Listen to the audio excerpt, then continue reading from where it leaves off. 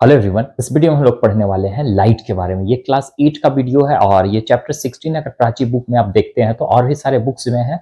लगभग सारे में सेम टॉपिक्स होते हैं, किसी में डिफरेंस नहीं होते। हैं एनसीईआरटी हो सीबीएसई हो आईसीएसई बोर्ड हो, ठीक है? आईसीएसई में थोड़ा सा हायर लेवल के होते हैं बट सीबीएसई के अकॉर्डिंग हम लोग चलते हैं। तो जितने टॉपिक्स हम इसमें डिस्कस करेंगे, वही टॉपिक होगा। और ये मेरा वीडियो पार्ट वन बन रहा है पार्ट टू वीडियो अपलोड करेंगे। अभी फ़िलहाल आप देख रहे हो यहाँ पे कुछ टॉपिक्स हमने लिख कर रखा है और इसी टॉपिक को भी हम लोग डिस्कस करेंगे। क्या क्या टॉपिक को डिस्कस करेंगे लेट्स अंडरस्टैंड फ़र्स्ट हम लोग लाइट के बारे में जानेंगे कि एक्चुअल में लाइट है क्या और लाइट हम किसी भी ऑब्जेक्ट को कैसे देख पाते हैं। उसके बाद reflection luminous non luminous opaque translucent transparent earth light moon light क्या होता है? Laws of reflection real virtual concave और कॉन्वेक्स मिरर के बारे में इसमें डिस्कस करने वाले हैं। तो चलिए हम वीडियो को स्टार्ट करते हैं। तो फ़र्स्ट आप देख रहे हो कि लाइट और एक्चुअली देखते हैं कि हम लोग का लाइट जो चैप्टर है ना इंपॉर्टेंट चैप्टर होता है। क्योंकि क्योंकि ये क्लास टेंथ में भी आपको पढ़ना होता है। तो चलिए अब हम देखते हैं कि लाइट होता क्या है। तो देखिए लाइट का अगर हम बात करें तो एक चीज़ आपको याद रखना है कि जो लाइट होते हैं ना लाइट का जो रेज होता है light always travels in straight line ठीक है? मतलब कि लाइट का जो रेज होता है, वो हमेशा स्ट्रेट लाइन में ही ट्रेवल करते हैं। ये हमारा फ़र्स्ट टॉपिक रहेगा लाइट में। इसको हम इसलिए डिस्कस कर रहे हैं क्योंकि जो भी लाइट का रेज आते हैं, आपके घर में बल्ब होगा सन का रेज होगा, या कहीं से भी लाइट का सोर्सेस है, उसका जो रेज आता है, वो हमारा क्या है कि सीधा लाइन में ही ट्रेवल करता है। एक आप एग्ज़ाम्पल देख सकते हो यहाँ पे, जैसे कि मैंने यहाँ पे एक पाइप लिया है, ठीक है? और ये पाइप में हम यहाँ पे क्या कर रहे हैं कि एक कैंडल को लाइट कर रहे हैं, ठीक है? अगर हम इस ऑब्जेक्ट को यहाँ से हम ऑब्ज़र्व करते हैं इसको, ठीक है? तो आप इसको, इस लाइट को देख पाओगे? हाँ देख पाओगे। क्यों? क्योंकि ये हमारा क्या है ना कि सीधा है। इसलिए अगर हम इसी चीज़ को थोड़ा सा हल्का सा बैंड कर दे रहे हैं, और एक बात का ध्यान रखना है आपको कि ये जो बेंड कर रहे हैं ना, ये रिफ्लेक्टिंग सरफेस नहीं होना चाहिए इसके अंदर। ब्लैक कलर का होना चाहिए जिसमें रिफ्लेक्शन ना हो। अब ये क्या इस लाइट को जलते हुए देख सकता है? नहीं देख सकता क्योंकि इसका जो रेस निकल रहा है ना, वो सीधा ट्रेवल करता है। ठीक है? ऐसा नहीं कि यहाँ से बैंड करेगा, फिर यहाँ से जाएगा, ऐसा नहीं।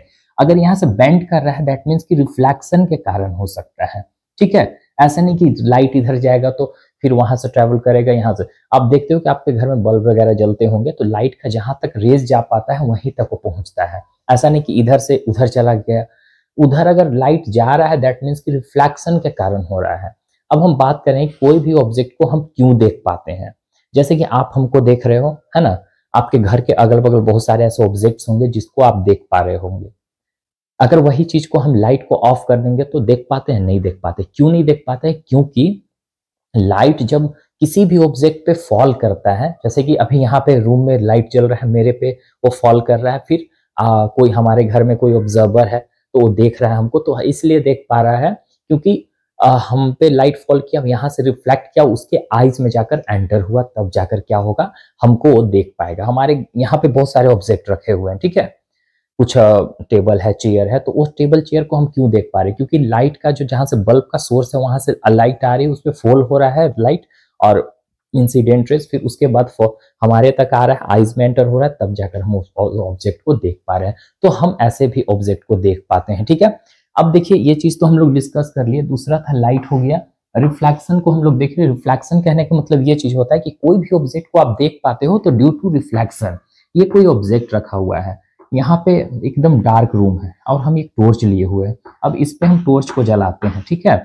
तो क्या होगा? और हम यहाँ पे खड़े हैं, ठीक है? तो हम इस ऑब्जेक्ट को देख पा रहे क्योंकि लाइट इस पे फॉल हुआ, अब फॉल होकर रिफ्लेक्शन हुआ रिफ्लेक्शन के कारण हमारे आइज़ तक आया, तब जाकर हमको इस ऑब्जेक्ट को, ये ऑब्जेक्ट दिखाई दे रहा अदरवाइज़ ये नहीं दिखाई देता। रिफ्लेक्शन के कारण ही हम किसी भी ऑब्जेक्ट को देख पाते हैं। क्लियर हो गया? अब हम लोग बात करते हैं लुमिनस और नॉन लुमिनस तो देखिए लुमिनस बॉडी होता क्या है नॉन लुमिनस बॉडी होते क्या है? देखो लुमिनस बॉडी कहने का मतलब वो चीज़ कि जिसको, जिसके पास खुद का लाइट हो। जो खुद से लाइट को इमिट कर सके, जो खुद से लाइट को प्रोड्यूस कर सके। ऐसे आपके घर में बहुत सारे ऑब्जेक्ट होंगे, लेकिन वो सब जो ऑब्जेक्ट होंगे ना मैड मेटेरियल्स होंगे, जैसे बल्ब हो गया।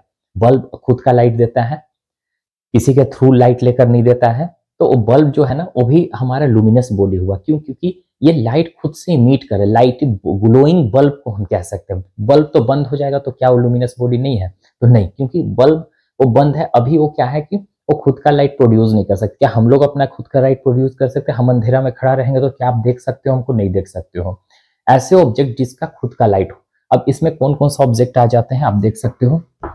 सन हो गया आपका स्टार्स हो गया और एक हमारा फायर फ्लाई भी होता है, जिसको हम लोग जुगनू बोलते हैं अपने लैंग्वेज में। ठीक है? जुगनू बोलते हैं। सन हो गए स्टार्स हो गए। फायरफ्लाई ये सब का खुद का लाइट प्रोड्यूस करता है, खुद से लाइट इमिट करता है तो इसको हम लोग क्या बोलेंगे? लुमिनस बॉडी बोलेंगे। और ऐसे ऑब्जेक्ट जिसको, जिसका खुद का लाइट प्रोड्यूस नहीं करता, उसको हम लोग क्या बोलते हैं? नॉन लुमिनस बॉडी बोलते हैं। जैसे कि हम हो गए, आपके घर के बहुत सारे ऐसे ऑब्जेक्ट होंगे जिसको आप जिसको खुद से का लाइट नहीं होता है, वो किसी दूसरे के थ्रू हमको दिखाई देता है रिफ्लेक्शन के कारण वो ऑब्जेक्ट हमको दिखाई देता है तो वो हमारा क्या हो गया? नॉन लुमिनस बॉडी बहुत बच्चे ऐसे कंफ्यूजन रहते हैं कि जो कि मून होता है मून का भी तो लाइट है मून भी तो लाइट प्रोड्यूस करता है, नहीं। मून क्या करता है कि सन का लाइट का रिफ्लेक्शन के कारण हमको सन का लाइट ये लेगा और इसमें रिफ्लेक्शन होगा, फिर अर्थ तक आएगा। तब जाकर हम इसको देख पाते हैं। अदरवाइज़ हम इसको नहीं देख पाएँगे। आगे बात समझ में? लुमिनस क्या होता है? नॉन लुमिनस सिंपल लैंग्वेज में हम लोग समझेंगे लुमिनस उस बॉडी को बोलते हैं जिसका खुद का लाइट हो, जैसे स्टार्स हो गए सन हो गया, ये सब फायर फ्लाइज हो गया। अब आपके घर में ग्लोइंग बल्ब हो गया, ये सब नेचुरल नेचुरल हमारा ये सन स्टार्स फायर और जो आपके घर में बल्ब हो गया ग्लोइंग बल्ब वो हमारा मैन मेड मटेरियल्स हो गया, है ना, जो आदमी के द्वारा बनाया गया है। और नॉन लुमिनस बॉडी जिसका खुद का लाइट इमिट नहीं कर सकता, ऐसे बहुत सारे आपके घर के ऑब्जेक्ट होंगे जिसको आप देख सकते हो, वो हमारा क्या हो गया? नॉन लुमिनस हो गया। क्लियर है यहाँ तक? कोई दिक्कत नहीं। अब हमारे पास तीन ऑब्जेक्ट्स हैं, जिसको हम लोग अभी देखेंगे। ओपेक क्या होता है? ट्रांसलूसेंट क्या होता है? ट्रांसपेरेंट क्या होते हैं? देखो ओपेक कहने का मतलब ये चीज़ कि जो लाइट जैसे कि यहाँ पे हम टोर्च जला रहे हैं, और टोर्च जलाने के बाद यहाँ से लाइट हम दे रहे हैं इस पे। तो क्या होगा? क्या ये लाइट इधर से इधर पार करेगा? नहीं करेगा। तो ऐसे ऑब्जेक्ट को हम लोग क्या बोलते हैं? ट्रांस ओपेक ऑब्जेक्ट बोलते हैं, ठीक है? जो लाइट को अपने से क्रॉस ना होने दे, उसको लाइट को वहीं के ब्लॉक कर दे। वैसे ऑब्जेक्ट को हम लोग क्या बोलेंगे? ओपेक ऑब्जेक्ट जैसे हम भी हो गए, क्या हमारे सामने लाइट आ रहे हैं यहाँ पे? तो मेरा लाइट क्या यहाँ से क्रॉस करके इधर पार हो जाएगा? नहीं हो पाएगा तो ऐसे ऑब्जेक्ट को हम लोग क्या बोलेंगे? ओपेक ऑब्जेक्ट आपके घर में वॉल हो गया, बहुत सारे ऐसे ऑब्जेक्ट होंगे जिससे लाइट क्रॉस नहीं करता। दूसरा है आपका ट्रांसलूसेंट अब देखो ट्रांसलूसेंट होते क्या है? ट्रांसलूसेंट ऑब्जेक्ट उस ऑब्जेक्ट को बोलेंगे जिससे थोड़ा बहुत लाइट को क्या कर सके पास कर सके। जैसे कि आप ऑयल देख लो, ठीक है?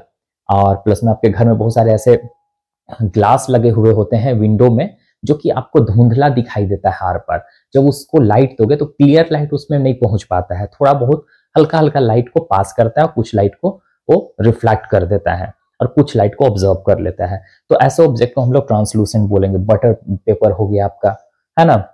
आप, आपके घर में कॉपी होगा, कॉपी में पढ़ते हो, कॉपी में थोड़ा सा तेल गिरा देना। गिराने के बाद देखना, एक पेज में तेल गिराना और वो ऑब्जेक्ट को ऑब्जेक्ट से देखना तेल कॉपी से। तो आर पर आपको दिखाई देगा, लेकिन वो हल्का फुल्का दिखाई देगा। दूसरे तरफ़ का लाइट आपको दिखाई देगा। तो मतलब कि ऐसे ऑब्जेक्ट जिससे हल्का फुल्का लाइट को क्रॉस करे। अब बात करते हैं ट्रांसपेरेंट की। तो ट्रांसपेरेंट होते क्या है? देखो ट्रांसपेरेंट ऐसे ऑब्जेक्ट को बोलेंगे जिससे पूरी तरह लाइट को पास कर सके। आपके घर में क्लियर गिलास होगा है ना? जिससे लाइट पूरी तरह से पास करे। जैसे कि आपका आ, जो कार होते हैं कार का जो फ्रंट वाला मिरर होता है ग्लास होता है जिससे ड्राइवर बैठकर आगे प्रॉपरली देख पाता है तो हमारा ट्रांसपेरेंट हो गया ठीक है? क्लियर वाटर आपका ट्रांसपेरेंट हो गया। तो आई होप कि यहाँ तक आपको एकदम क्लियर हो गया होगा। अब हम लोग अर्थ लाइट के बारे में पढ़ेंगे मून लाइट देखो अर्थ लाइट कहने का मतलब ये चीज़ कि अर्थ का भी लाइट होता है, लेकिन कैसे? कैसे हम मून को देख पाते हैं? रिफ्लेक्शन के कारण सन का लाइट इस पे आता है तो हम इसको देख पाते हैं। उसी तरह से अगर हम लोग मून पे जाते हैं तो मून पे जाने के बाद अर्थ को भी हम लोग देख सकते हैं, उसका शेप को देख सकते हैं स्फेरिकल शेप में होता है। क्यों? क्योंकि सन का लाइट इस पे पड़ता है है ना? डे के समय में सन का लाइट अर्थ पे पड़ रहा है, या तो फिर ऑपोजिट पड़ रहा है तो उस दौरान हम क्या कर पाते हैं? अर्थ को देख पाते हैं। ठीक है? ये रिफ्लेक्शन के कारण। तो यही अर्थ लाइट हो गया मून लाइट वही हो गया। सन का लाइट उस पर पड़ेगा तो हम रिफ्लेक्शन के कारण उसको देख सकते हैं। ठीक है? अब देखो laws of reflection that is the main point of this topic of this chapter so I will teach you listen me properly अभी तक जो भी अगर कुछ समझ में नहीं आ रहा होगा तो आप कमेंट करके बोल सकते हो कि सर ये टॉपिक क्लियर नहीं हुआ नेक्स्ट वीडियो में आप इसको क्लियर कर दीजिएगा। लेकिन ऐसा हमको नहीं लग रहा है कि आपको क्लियर नहीं हुआ होगा। अभी तक कोई ऐसा टफ टॉपिक नहीं था अब हम लोग देखो लॉज ऑफ़ रिफ्लेक्शन के बारे में पढ़ेंगे। लॉज ऑफ़ रिफ्लेक्शन होते क्या है? सो लॉज ऑफ़ रिफ्लेक्शन तो हम लोग जानेंगे, लेकिन उससे पहले रिफ्लेक्शन के बारे में देख लेते कि रिफ्लेक्शन होते क्या है। तो देखो, हम एक प्लेन मिरर ड्रॉ कर रहे हैं, है ना? ये जो हम मिरर ड्रॉ करने वाले हैं प्लेन मिरर और इसके नीचे ऐसे इसलिए किया जाता है कि दैट मीन्स कि ये पॉलिस्ड रहता है। और प्लेन मिरर होते क्या है? ये हमारे एक तरह से रेगुलर सरफेस हो गए। रेगुलर मतलब कि जिसमें कहीं कुछ अनइवन एरियाज़ ना हो, ऊपर नीचे ना हो। ऐसा तो ड्रॉइंग तो एक्चुअल में है नहीं, लेकिन एक्चुअल में ये क्या है कि प्लेन मिरर है, जो आपके घर में जो आप मिरर देखते हो, जिसमें आपका इमेज क्लियर बनता है, वही चीज़ हम यहाँ पे ड्रॉ किए हुए हैं। तो जब उसमें एक लाइट पास होता है, जैसे कि यहाँ से हम एक लाइट दिए सोर्स ऑफ़ लाइट इस एंगल से दिए, है ना? मान के यहाँ पे हम टोर्च जलाते हैं, ठीक है? तो यहाँ से लाइट गया ओके अब यहाँ से जो रिफ्लेक्ट करेगा प्लेन मिरर पे तो सेम वही एंगल से ही रिफ्लेक्ट करेगा। क्यों? क्योंकि यहाँ पे ये जो था हमारा प्लेन मिरर था। तो ये एक नियम होता है जिसमें रिफ्लेक्शन वही होता है। बीच में हम लोग एक नॉर्मल ये हम ड्रो करते हैं, जिसको क्या बोलते हैं? नॉर्मल बोलते हैं। अब ये इसको क्या बोलेंगे? इसको क्या बोलेंगे? यहाँ से लाइट क्या हुआ? रिफ्लेक्ट हुआ। तो ये जो लाइट रिफ्लेक्ट हुआ, इसको हम लोग रिफ्लेक्टेड रे बोलेंगे। ठीक है, क्या बोलेंगे? रिफ्लेक्टेड रे बोलेंगे। क्योंकि लाइट से बहुत सारे रेज निकलते हैं तो हमने एक रेज को ही लिया है यहाँ पे। ठीक है तो एक रेज को लिया है तो ये जो रेज यहाँ से आ रहा है, इसको हम लोग क्या बोलते हैं? इंसिडेंट रे बोलते हैं। आप लोग पढ़े होंगे आई थिंक क्लास सिक्स में, इसको हम लोग इंसिडेंट रे बोलते हैं। ये रे क्या होता है? ये वाला रे है, ये वाला भी रे है। इसका नाम क्या है? इंसिडेंट और यहाँ से जो रिफ्लेक्ट हुआ बाउंस्ड बैक हुआ, उसको हम लोग क्या बोलेंगे? रिफ्लेक्टेड रे और ये जो बीच में हम लाइन ड्रॉ किया है, इसको, इसका क्या बोलते हैं? नॉर्मल ठीक है? ये हम लोग नॉर्मल ड्रॉ करते हैं। ओके अब यहाँ पे ऐसे प्लेन मिरर में ये चीज़ होता है। अब हम बात करते हैं कि ये जो इंसिडेंट रे है और नॉर्मल इसके बीच में भी एक एंगल बन सकता है, बन सकता है ऑब्वियस बन सकता है, जो भी डिग्री हो thirty degree forty degree what it is है ना? और यहाँ पे भी एक एंगल बनेगा। तो इस एंगल को हम लोग क्या बोलते हैं? एंगल का डेनोशन देंगे यहाँ पे, और ये एंगल इंसिडेंट है, इसलिए इसका स्मॉल आई ले लेंगे इंसिडेंट आई फोर इंसिडेंट और यहाँ पे रिफ्लेक्टेड रे है तो एंगल का सिंबल बनाएँगे, और यहाँ पे स्मॉल आर दे देंगे। क्लियर है? ये एक आपका रिफ्लेक्शन हुआ जैसे कि लाइट जो होता है ना, इस तरीका से क्या होता है? रिफ्लेक्ट करता है। ठीक है? तो ये एक प्लेन मिरर पे था, रेगुलर सरफेस पे था। एक आपका इरेगुलर सरफेस होता है, जिसको हम लोग डिफ्यूजन भी बोलते हैं। ठीक है? इरेगुलर सरफेस, जिसको हम लोग क्या बोलते हैं? डिफ्यूजन भी बोला जाता है। डिफ्यूजन। ये ये हमने टॉपिक में यहाँ नहीं लिखा है बट ये भी टॉपिक था जिसको हमने ऐड कर दिया। डिफ्यूजन मतलब क्या होगा? कुछ इस तरीका से आपके मिरर होगा जिसमें आप इंसिडेंट रेज तो दोगे, लेकिन वो जो रिफ्लेक्ट होगा, कुछ इधर चला जाएगा, कुछ इधर चला जाएगा। मतलब कि इसमें डिफ्यूज कर जाएगा। जो रिफ्लेक्टेड रे होगा, वो इधर उधर हो जाएगा। दैट मीन्स कि इस तरह का मिरर में आपका जो इमेज बनेगा क्लियर नहीं बन पाएगा। जैसे कि आपके घर का वॉल जो होता है, जो उखड़ खावड़ होते हैं, उसमें जब रिफ्लेक्टेड रे जाता है तो उसमें जब इंसिडेंट रे जाएगा तो जो रिफ्लेक्ट करेगा तो वो अन इवेंट टाइप होगा डिफ्यूज हो जाएगा। तो आई होप कि ये क्लियर हो गया होगा। अब यहाँ पे हम लोग लॉज ऑफ़ रिफ्लेक्शन को देखें कि लॉज ऑफ़ रिफ्लेक्शन होते क्या है, ये कैसे काम करता है। तो देखो लॉज ऑफ़ रिफ्लेक्शन बेसिकली अगर हम लोग बात करें तो वो सिर्फ़ और सिर्फ़ प्लेन मिरर पे ही पॉसिबल है। जैसे कि फ़र्स्ट लॉ यहाँ पे क्या बोलता है? वी विल नो दैट जैसे यहाँ एंगल आई है, यहाँ एंगल आर है। तो आप देख रहे हो कि जिस एंगल से हमने यहाँ पे दिया है, अगर आप प्रोटेक्टर रखते हो, यहाँ पे इस तरीका से प्रोटेक्टर रखते हो तो यहाँ पे एंगल आप मेजर करना और यहाँ पे एंगल मेजर करना। मतलब जिस एंगल से आपने लाइट को दोगे, उसी एंगल से जो रेज है रिफ्लेक्ट होगा। ठीक है? तो एक चीज़ यहाँ पे पॉसिबल हो सकता है angle i equal to angle r हो सकता है कि नहीं हो सकता है, क्योंकि यहाँ पे जिस एंगल से थिंक उसी एंगल से रिफ्लेक्ट करेगा दैट मीन्स कि यहाँ अगर एंगल आई थर्टी डिग्री होगा तो एंगल आर भी हमारा थर्टी डिग्री ही होगा। ठीक है? तो ये फ़र्स्ट लॉज ऑफ़ रिफ्लेक्शन हुआ। क्लियर हो गया? सेकेंड लॉज ऑफ़ रिफ्लेक्शन क्या बोलता है? लेट्स अंडरस्टैंड ये हमारा एक प्लेन मिरर है, ठीक है? एक सरफेस है। तो सभी पॉइंट्स आप देख रहे हो कि इंसिडेंट रे रिफ्लेक्टेड रे और ये जो नॉर्मल है, सब एक पॉइंट पे ही क्या कर रहा है? लाई कर रहा है। ठीक है? तो all all lines lie on same plane ठीक है? लाई ऑन सेम प्लेन ये आपका क्या हो गया? सेकेंड लॉज ऑफ़ रिफ्लेक्शन हो गया। आई होप कि ये भी आपको क्लियर हो गया होगा। लॉज ऑफ़ रिफ्लेक्शन ये दो लॉज ऑफ़ रिफ्लेक्शन है जिसको हम लोग को पढ़ना था। फ़र्स्ट में हमने क्या बताया आपको? कि angle i equal to angle r होता है और सेकेंड में क्या है कि जो भी रेज uh, है वो सब क्या है कि एक ही पॉइंट पे लाई करते हैं इंसिडेंट रेज नॉर्मल हो गया और रिफ्लेक्टेड रे, सब एक पॉइंट पे ही लाइक करते हैं। और कैसे लाइक करते हैं? देखो इंसिडेंट रे यही है रिफ्लेक्टेड रे भी यही है नॉर्मल भी हमारा यही है। ऐसा नहीं ना कि इंसिडेंट रे यहाँ है नॉर्मल यहाँ है रिफ्लेक्टेड रे यहाँ अलग अलग पॉइंट तो नहीं है, एक ही पॉइंट पे है, ठीक है? तो ये लॉज ऑफ़ रिफ्लेक्शन होता है हमारा दो। आई होप ये भी आपको क्लियर हो गया। अब हम लोग नेक्स्ट नेक्स्ट की ओर मूव करते हैं। नेक्स्ट में हमारा क्या दिया हुआ है? देखिए, आपका लॉज ऑफ़ रिफ्लेक्शन के बाद वर्चुअल और real image that is the main topic है ना? ये भी हमारा मेन टॉपिक ही है। वर्चुअल uh, रियल बहुत बच्चे को समझ में नहीं आता है ठीक है? तो वर्चुअल क्या होंगे और रियल क्या होंगे इस चीज़ के बारे में आप समझो। देखो वर्चुअल कहने का मतलब ये चीज़ कि जो भी आपका इमेज बनेगा as it is copy type बनेगा है ना? वो आपका कॉपी होगा। और रियल इमेज दैट मीन्स कि वो आपको स्क्रीन पे ही ऑप्टेन करवा सकते हो। जैसे कि आप मेरा वीडियोस देख रहे होगे मोबाइल में है ना? तो मोबाइल में वीडियोस देख रहे हो तो ये जो इमेज बन रहा है, वो रियल है। इसको क्या बोलेंगे? रियल बोल सकते हैं। टीवी का स्क्रीन देखते हो, है ना? या कोई भी प्रोजेक्टर वगैरह जो देखते हो, जैसे कि ये हमारा बोर्ड है, इसको हम सपोज़ की स्क्रीन मानिए। हम यहाँ पे खड़े तो क्या मेरा इमेज यहाँ पे बन रहा है? नहीं बन रहा है। तो यहाँ पे अगर प्रोजेक्टर लाकर यहाँ पे अगर हम कोई इमेज बना सकते हैं तो बन सकता है। तो इस पे बनेगा। इसका ये हमारा स्क्रीन होगा, इस पे बनेगा। तो ये हमारा क्या हो जाएगा? रियल इमेज हो जाएगा। तो इसका एक डेफिनेशन आप सुन लो। Real image which can obtain on the screen जिसको हम स्क्रीन पे ऑप्टेन करवा सकते हैं, उसको हम लोग क्या बोलते हैं? रियल इमेज बोलते हैं। Which can not be obtain on the screen that is virtual image जिसको हम स्क्रीन पे नहीं ऑप्टेन करवा सकते, उसको क्या बोलते हैं? वर्चुअल इमेज बोलते हैं। तो आई होप कि ये भी आपको क्लियर हो गया होगा सिंपल लैंग्वेज में, लेकिन इसको हम लोग एक एक्सपेरिमेंट करके देखेंगे। यहाँ पे कुछ हमने ड्रॉ करेंगे और उसमें कॉनकेव कॉन्वेक्स मिरर भी हम लोग समझ लेंगे। है ना? रियल और वर्चुअल को भी समझ लेंगे। इसका कुछ कैरेक्टरिस्टिक को भी देखेंगे रियल और वर्चुअल को। देखो रियल और वर्चुअल रियल और वर्चुअल होते क्या है? रियल में हम लोग समझिए कि रियल क्या होता है वर्चुअल क्या होता है। रियल को हम लोग क्या कर सकते हैं? स्क्रीन पे ही ऑप्टेन करवा सकते हैं। मोबाइल का स्क्रीन टीवी का स्क्रीन प्रोजेक्टर हो गया, इस तरीका से। लेकिन वर्चुअल इमेज सिर्फ़ आप मिरर में ही देख सकते हो मतलब कि प्लेन मिरर में आपका जो इमेज बनता है, वो कैसा होता है? वर्चुअल होता है। ठीक है? कोई भी मिरर में जो आपका कॉपी हो रहा है, वो आपका क्या है? वर्चुअल इमेज है। अब देखो वर्चुअल प्लेन मिरर का कुछ कैरेक्टरिस्टिक होता है, जिसमें क्या होता है कि जो इमेज बनता है ना वर्चुअल हमारा वो कैसा होता है? इरेक्ट होता है। ठीक है? पहला तो सीधा होगा।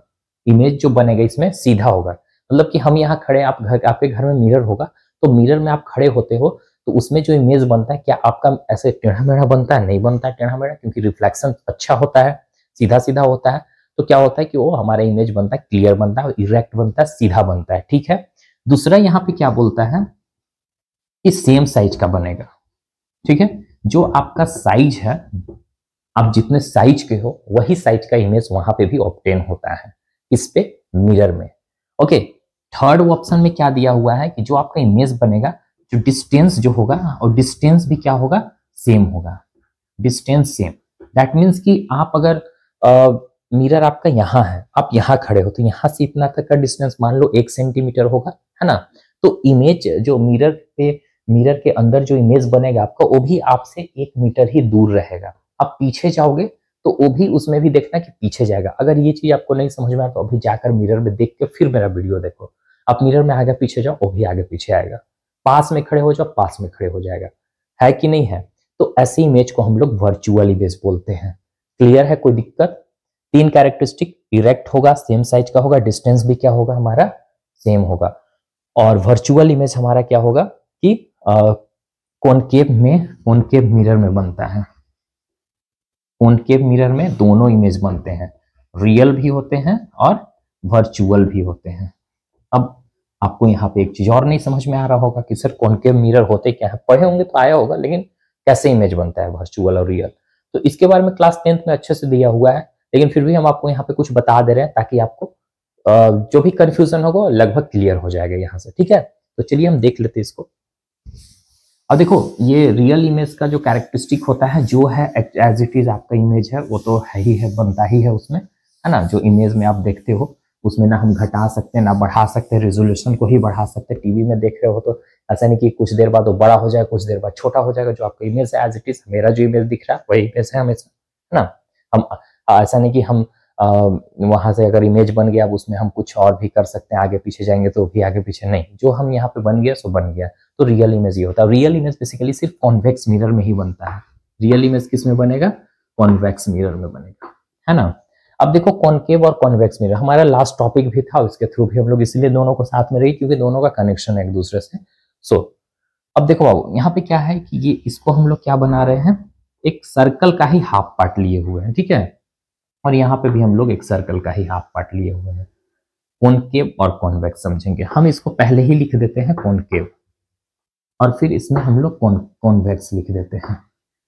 लेकिन कॉनकेव और कॉन्वेक्स होते क्या है? देखो, केव से एक चीज़ याद रखने का चीज़ है। केव मतलब क्या होता है? गुफा होता है है ना? तो गुफा अंदर की ओर होता है। दैट मीन्स कि इसका जो रिफ्लेक्टिंग सरफेस होगा, किधर की ओर होगा? अंदर की ओर होगा। उसको हम लोग क्या बोलेंगे? कॉनकेव मिरर और कॉन्वेक्स मिरर का जो रिफ्लेक्टिंग सरफेस होगा आउटवर्ड की तरफ़ रहेगा, ठीक है? आउटवर्ड मतलब इधर की ओर रहेगा। और इसका रिफ्लेक्टिंग सरफेस इधर की ओर होगा, ठीक है? जैसा हम इधर ड्रो कर रहे हैं, आप देख लेना। इधर मतलब कि रिफ्लेक्टिंग सरफेस मतलब कि इधर आप अपना फेस देख सकते हो इसमें और इधर आप अपना फेस देख सकते हो इसमें। ये हमारा कॉनकेव मिरर है। और कॉनकेव मिरर का क्या कैरेक्टरिस्टिक है? इसमें रियल भी बनाएगा और वर्चुअल भी बनाएगा। लेकिन इस पर डिपेंड करता है कि फोकल लेंथ पे। ठीक है? जो कि आपको अभी नहीं पढ़ना। एक यहाँ पे पॉइंट होता है जिसको बेसिकली हम लोग पी से डिनोट करते हैं और यहाँ पे एक लाइन होता है। ठीक है? ये लाइन क्या होता है हम बताएँगे। ये पूरा लाइन को हम लोग प्रिंसिपल एक्सिस बोलते हैं। जो क्लास टेंथ में होगा, हम जो बता रहे हैं, आप इसको समझो समझोगे फ़िलहाल। और देखो, एक यहाँ पे पॉइंट होता है, जहाँ पे रेज आकर मिलते हैं। जैसे कि अगर हम एक रेज यहाँ से देंगे, अब एक रेज यहाँ से देंगे तो ऑब्वियस है कि ये जो रिफ्लेक्ट करेगा, इधर की ओर तो नहीं जाएगा रेज इसका इसका रेज इधर की ओर आएगा, ठीक है, यहाँ की ओर आ जाएगा। और देखो, एक चीज़ और है कि जहाँ पे एक चुगल पॉइंट मीट करता है, वहीं पे क्या होता है इमेज बनाता है। जहाँ पे एक चुगल पॉइंट मीट हो, वहीं पे क्या होगा इमेज बनता है। अब देखो, ये रिफ्लेक्टिंग सरफेस कहीं इन्फिनाइट से आ रहा है, कहीं दूर से आ रहा है तो इसका पॉइंट यहाँ पे आकर मिलेगा। तो यहाँ पे क्या होगा इमेज बनाएगा। तो देखो, ये हमारा मिरर हुआ। मिरर के सामने बन रहा है, पीछे नहीं बन रहा है। बिहाइंड द मिरर बने तो हमारा वर्चुअल होगा, लेकिन यहाँ मिरर के सामने बन रहा है। तो ये कॉनकेव मिरर था? इसमें रियल भी बनता वर्चुअल तो मिरर के सामने बन रहा है दैट मीन्स कि ये हमारा रियल इमेज होगा। ठीक है? अगर इसका बिहाइंड द मिरर में अगर हम लोग इमेजिन करके इसे ड्रॉ करते हैं तो ये वाला पॉइंट जाकर कहीं मिलेगा? देखो, ये वाला पॉइंट कहीं मिलेगा? नहीं मिलेगा, क्योंकि ये ऐसे चला जाएगा कंटिन्यूअसली जाएगा। इसका आगे जाते जाते पूरा दूर हो जाएगा। तो ये कहीं भी जाकर आपस में क्रॉस इच अदर नहीं करेगा। लेकिन इधर वाला जो रिफ्लेक्टेड रे आया, यहाँ मिला। तो जहाँ पॉइंट मिलते हैं, वहीं पे इमेज बनता है। क्लियर है? कोई दिक्कत नहीं होना चाहिए, ठीक है? और ये जहाँ पे पॉइंट मिलते हैं, उसको हम लोग क्या बोलते हैं? फोकस बोलते हैं। और यहाँ से यहाँ तक का डिस्टेंस को क्या बोलते हैं? फोकल लेंथ बोलते हैं, ठीक है? फोकल लेंथ बोलते हैं। अब देखो, एक चीज़ और है कि इसमें तो कॉन्केव में तो दोनों बनता था रियल और वर्चुअल ये तो हम लोग रियल को देख लिए, लेकिन वर्चुअल कैसे बनेगा? तो देखो वर्चुअल का एक चीज़ है कि अगर आपका जो ऑब्जेक्ट है फोकस पे है, ठीक है? फोकस पे है या इससे दूर है तो हमारा क्या बनेगा? अगर यहाँ पे आप कोई ऑब्जेक्ट रखे हो तो आप खड़े हो और यहाँ मिरर है आपके सामने तो यहाँ पे हमारा क्या बन जाएगा? इसको हम लोग क्या बोलेंगे? वर्चुअल इमेज बनेगा, ठीक है? जो फोकस पे है या फोकस से दूर हो, तब क्या बनेगा? वर्चुअल इमेज बनेगा, है ना? अब देखो कॉन्वेक्स मिरर हमेशा क्या बनाता है? वर्चुअल इमेज बनाता है, ठीक है? क्या बनाएगा हमेशा? वर्चुअल इमेज बनाएगा, कैसे? अब देखो, इसमें भी तो हमारा यहाँ पे लाइन होगा, है ना? अब इसमें हम रिफ्लेक्टेड रेज को देंगे। तो रिफ्लेक्टेड रेज देंगे तो देखो इधर से ये डाइवर्स ऐसे की ओर है तो ये डाइवर्स इधर करेगा। रिफ्लेक्ट करेगा इधर की ओर। आप करके देख लेना कॉन्वेक्स मिरर होगा, इधर की ओर। तो ये भी पॉइंट कहीं जाकर मिलेगा, नहीं मिलेगा। तो जो इमेज स्क्रीन पे बनता है, जैसे कि ये हमारा स्क्रीन ही हुआ मिरर तो इसका सामने बनेगा, तब हम लोग उसको रियल बोलते हैं। लेकिन बिहाइंड द मिरर ये मिरर के पीछे वाला साइड हो गया, इसका मिरर का इधर पीछे हो गया। ठीक है? तो इधर, अब इधर से हम लोग एक इमेज इमेजनरी लेते हैं। ठीक है? तो ये पॉइंट यहाँ पे आके मिल रहा है, ठीक है? तो कोई ऑब्जेक्ट अगर रखा हुआ है इन्फनाइट पे तो इसका पॉइंट यहाँ पे मिल रहा है तो यहाँ इमेज बना है मतलब मिरर के पीछे बन रहा है। तो ये हमारा क्या बनाएगा? सिर्फ़ और सिर्फ़ वर्चुअल ही इमेज बनाता है। कॉन्वेक्स मिरर याद रखोगे कॉन्वेक्स मिरर हमेशा वर्चुअल इमेज फॉर्म करेगा, और जो कॉन्केव मिरर होता है उसमें वर्चुअल और रियल दोनों बनते हैं, वो डिपेंड करता है उसका फोकस पे। अगर फोकस पे है या उससे दूर है तो क्या बनाएगा वो हमारा वर्चुअल वर्चुअल बनाएगा और अगर वो फोकस के नज़दीक है तो बेसिकली क्या देगा वो? हमारा उधर, इधर, उधर है तो फिर वो हमारा रियल इमेज बनेगा, ठीक है? तो इस तरीके से कुछ कैरेक्टरिस्टिक है और बाकी जो डिटेल्स है बेसिकली जितना हम बताए हैं इसमें क्लास एट के लिए दैट इज़ इनफ ठीक है? ये सब ऐसे एग्ज़ाम में आपको नहीं आएँगे, बस ये डायग्राम इस तरह से ड्रॉ करने के लिए प्लेन मिरर का ही होगा आपका, उसी पे ड्रॉ करना, ये क्लास टेंथ में बना हुआ है ऐसे, है ना? लेकिन आप समझ गए हो तो अच्छी बात है क्लास टेंथ में आपको प्रॉब्लम नहीं होगी। अगर इस तरह का वीडियो आपको और भी चाहिए तो आप कमेंट करके बताइए और इसका पार्ट टू हम बनाएँगे, image formation on the plane mirror. Image कैसे प्लेन मिरर पे बनता है उसमें हम लोग देखेंगे। तो अभी के लिए बाय, टेक केयर और प्लीज़ वीडियो को लाइक और सब्सक्राइब कर लीजिएगा अगर आप मेरे चैनल पे न्यू हो तो। एवरीबॉडी।